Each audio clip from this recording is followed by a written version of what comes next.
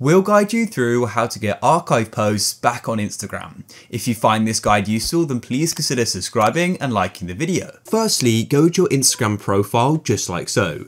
Now I'm going to quickly do is just go and archive a post just to show you that we can go and get it back. So I'll just do this post here. So I've clicked on it. I'll just click on the top right and then press on archive just like that and it's now been archived.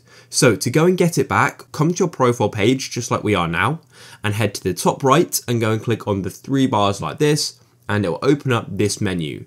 Then you want to go and press on archive just here and this will take you to your archive. Now it's important to note that at the top here you can have multiple different archives. So if you go and click here, make sure you go and press on posts. I think before one was selected to stories, I was a bit confused, but just click on it and then press on posts. And then you can see all the posts you've archived.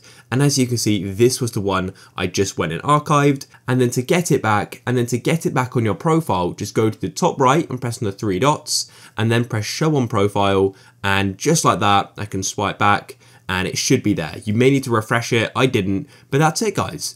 If you found this guide useful, then please go down below and consider leaving a like for more useful Instagram guides.